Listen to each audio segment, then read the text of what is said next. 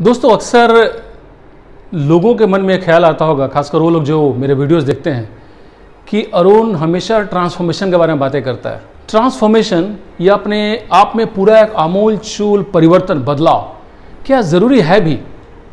इसके बिना भी तो ज़िंदगी चल सकती है। दोस्तों, एक लेते हैं हम लोग एक्सट्रीम एग्ज़ाम्पल क्योंकि एक्सट्रीम एग्जाम्पल्स हमेशा समझने के लिए बिल्कुल कारगर साबित होते हैं। आपको मैसेज बिल्कुल डायरेक्टली मिलेगा, तुरंत मिलेगा और पूरी की पूरी शिद्दत के साथ मिलेगा। इस तरह से मिलेगा कि आप ज़िंदगी भर इस मैसेज को भूल नहीं पाएँगे।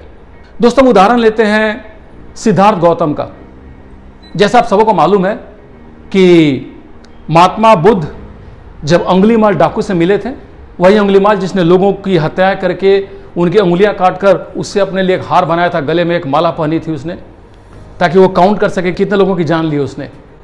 वही खतरनाक डाकू अंगुलीमाल जब महात्मा बुद्ध से मिला तो चिल्लाया ठहरो अंगुलीमाल जिसके बाल धूल से सने हुए थे, जिसके चेहरे में खून के निशान थे जो जम चुके थे, सूख गए थे। उसके गले में सूखे हुए खून से सराबोर अंगुलियों की माला थी। पूरा शरीर या तो रक्त से या गंदगी से भरा हुआ था। बाल बेतरतीब थे, आँखों में लालिमा थी, गुस्से की, पागलपन की।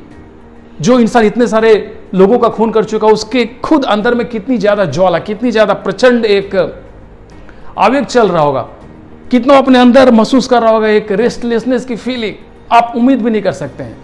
और उसने जब देखा महात्मा बुद्ध को तो चिल्लाया दूर से, ठहरो।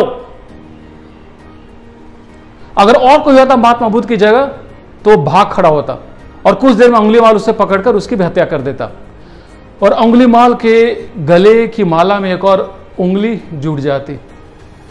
लेकिन दोस्तों, महात्मा बुद्ध उसमें ट्रांसफॉर्म्ड हो चुके थे। वो बिल्कुल अपने आप को परिवर्तित कर चुके थे। वो सिद्धार्थ गौतम नहीं थे।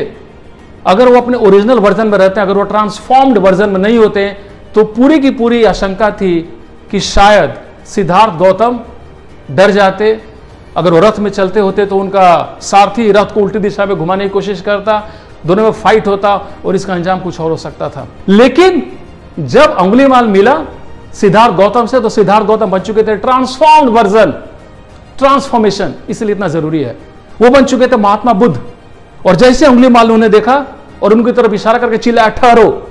महात्मा बुद्ध बिल्कुल ठहरे रहे। चेहरे पर वही आभा, वही कॉन्फिडेंस वही शांति मेडिटेशन की शांति। मेडिटेशन दोस्तों, ग्यारह में से एक रिचुअल है मॉर्निंग का, जो मैं लोगों को कराता हूँ, जो मेरे मेंटीज हैं, जो मेरे कोचिज हैं।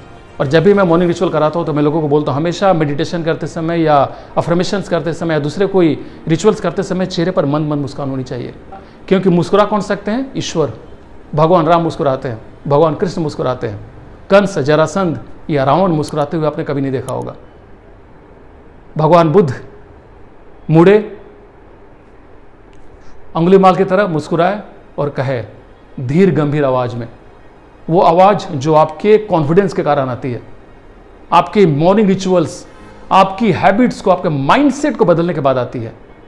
मैं तो ठहर गया, तुम कब ठहरोगे? और उंगली बिल्कुल भौचक्का रह गया, वो बिल्कुल आश्चर्यचकित रह गया कि किस इंसान से उसका पाला पड़ा है, जो बिल्कुल शांत है कॉन्फिडेंट है। उसके चेहरे पर बिल्कुल भी एक घृणा की भावना नहीं है उंगली को देखकर। उसके चेहरे पर गुस्सा नहीं है, उसके चेहरे पर डर नहीं है। ये कौन सा इंसान है? और अंगली माल को तुरंत एहसास हो गया अंदर तक कि ये इंसान दूसरा इंसान है। ये आम इंसान नहीं है। ये ट्रांसफॉर्म्ड वर्जन है। दोस्तों इस कहानी से आप समझ सकते हैं कि ट्रांसफॉर्मेशन आपकी ज़िंदगी के लिए कितना ज़रूरी है।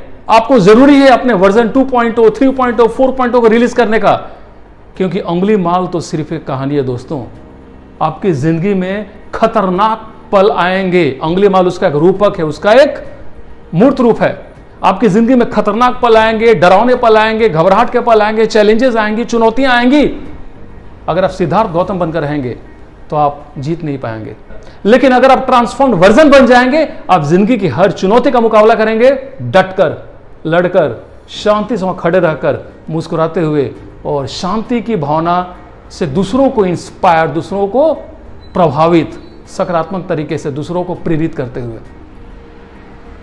ट्रांसफॉर्मेशन सबों के लिए ज़रूरी है दोस्तों। आशा आपने इस कहानी से एक मैसेज ले लिया होगा। All the best wishes stay transform and keep watching all the videos thank you so much